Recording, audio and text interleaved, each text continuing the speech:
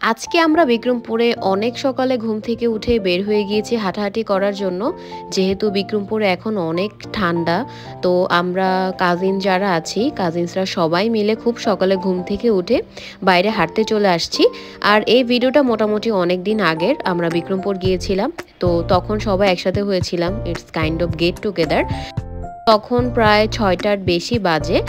So সবাই মিলে একদম শীতের গেট আপ নিয়ে হাঁটাহাঁটি শুরু করছি।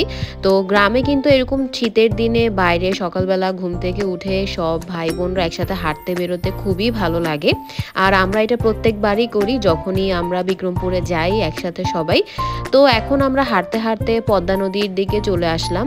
এটা আমাদের বাসা থেকে দশ পনেরো মিনিট সময় লাগে চলে আসতে। তো আমরা হেঁটে সবাই মিলে চলে আসলাম পদ্মা নদীর এইখানে।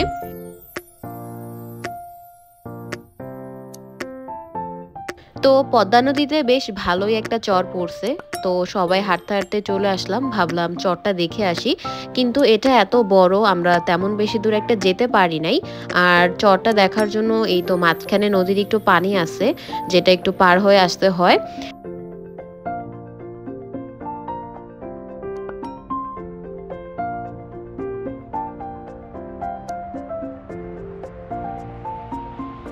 খুব সকালের এই ফিলটা অনেক ভালো লাগে গ্রামের বাড়িতে।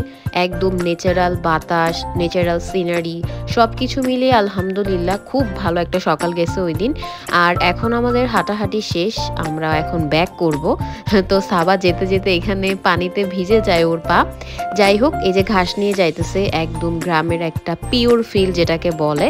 তো আমরা হাঁটতে হাঁটতে আবার চলে আসলাম একটু স্কুলের দিকে। হাঁটতে হাঁটতে দেখা মিলল এই সুন্দর টিয়া পাখিটার। খুব সুন্দর করে গাছে বসে আছে। নেচারালি এই টিয়া পাখিটাকে দেখতে অনেক ভালো লাগতেছিল। এরপর আমরা বাসায় ব্যাক করতেছিলাম, যেহেতু ওই টাইমটাতে ষোলোই ডিসেম্বর ছিল, তো রাস্তাঘাট মোটামুটি খুব সুন্দর করে পতাকা দিয়ে সাজানো ছিল। এখন আমরা মাঠে একটু খেলাধুলা করব। আমাদের অনেক হাঁটাহাঁটি হয়েছে। তো কাজিনসরা হচ্ছে বাসা থেকে ক্রিকেট বল ব্যাট এগুলো নিয়ে আসছে। আমরা সবাই মিলে ক্রিকেট খেললাম, অনেক মজা হয়েছে। ক্রিকেট খেলা শেষ করে আমরা সাইকেলিংও করলাম। তো সাইকেলিং শেষ করে এখন বাসায় চলে যাব। পাশের একটা বাসাতেই দেখলাম এতগুলা কুকুরের বাচ্চা। দেখতে কিন্তু খুব কিউট লাগতেছিল, তাই না? তো ওদেরকে একটু ভিডিও করলাম, দেখলাম। এখন বাসায় গিয়েই দেখি সবাই মিলে পিঠা খাওয়া স্টার্ট করে দিয়েছে। এখানে আব্বু বসে আছে, ছোট কাকু সেজু কাকি, আম্মু, আর এই তো আমার পিচ্ছি কাজিনটা জান্নাত। জান্নাত পাখিটা ওর বাবার সাথে খেলতেছিল। তো আমি হচ্ছে সবাইকে খাওয়া দাওয়া করতে দেখে ফ্রেশ হতে চলে গেলাম। আর এই দিকে হচ্ছে আমার ভাগ্নি মানে আমার ফুপাতো বোনের মেয়ে, ও হচ্ছে গ্রিল খাচ্ছিল সকালে।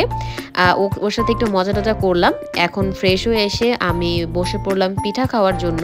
এটা হচ্ছে ভিজা পিঠা। পিঠাটা অনেক মজা হয়েছিল মাসাল্লাহ খেতে অনেক ভালো লাগছে। আমি প্রায় চার চারটার থেকে পাঁচটা পিঠা খাইছি। আলহামদুলিল্লাহ অনেক মজা হয়েছিল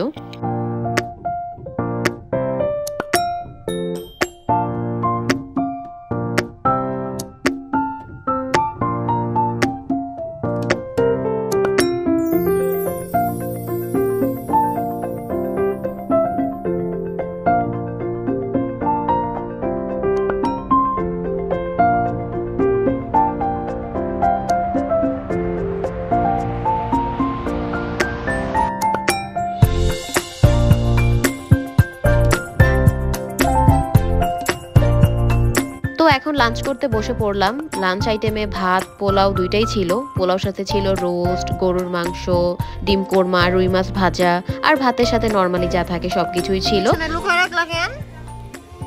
দেখি তো হাতে কি? সবগুলো তোমার?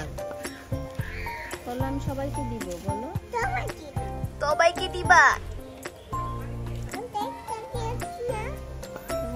দিয়েছি না আবার কেন? বড় ভাইকে একটা দাও। বলছে বড় ভাই ওরে হাত ধরলো না প্যাকেটটা ধরে দিলই বা আস্তে আস্তে খামনি না আমি আস্তে আস্তে খাই কেন হ্যাঁ? আচ্ছা ঠিক আছে কারণ অনেকক্ষণ লাগবে তো খাইতে। হ্যাঁ? আল্লাহ সব নিয়ে গেল? আপনি খাইবেন দু একটা? হ্যাঁ? আপনি আবার কিনে দিব না আপনার পরে না? আপনার পরে কিনে দিব না? হ্যাঁ? সব দিকে রাজি আছে। ঠিক আছে, আপনার কাছে রাখেন, আমি পরে খাব রাখেন। হ্যাঁ? লাঞ্চের পর সবাই একটু রেস্ট করে বিকেলে সবাই বসে আড্ডা দিচ্ছিল আর চা খাচ্ছিল। এরপর হচ্ছে রাতে সবাই মিলে ওরা এখানে খেলাধুলা করতেছিল আর আমি দেখতেছিলাম।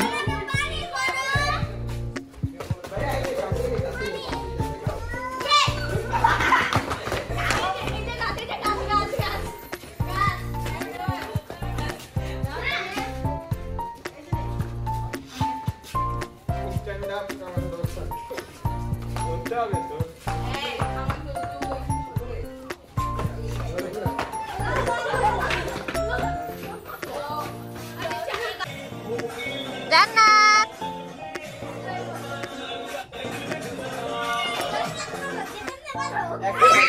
না না না অফার নেই আমি একটা কোশ্চেন করি শোনো